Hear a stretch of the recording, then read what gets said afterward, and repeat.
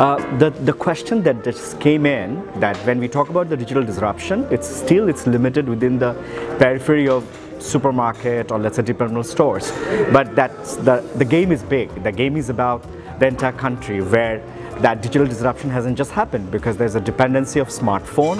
which hasn't been penetrated the way we have thought of. And and যখন RFL বা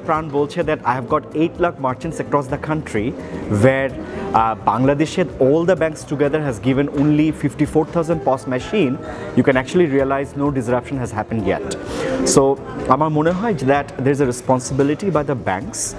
uh, whoever is uh, working on the credit card segments fintech partners uh, like Dmoney or mfs category, MFS ক্যাটাগরিতে আছে let's a bKash or Nagad they have to come forward the solution which should not be only smartphone based right? Like if we have a smartphone dependency at the end of the day we cannot really we are not really looking at a larger spectrum. We are still uh, limiting ourselves within the periphery of this Dhaka and Chittagong which is not representing the country. So I believe that the great discussion has taken place today where we have seen that they're talking about interoperability that bKash or Nagad or let's say Dmoney doesn't have to uh, create one single merchants for each of them, rather uh, there has to be an interoperability that they would be acquiring merchants for uh, from from individual entity point of view that সবাই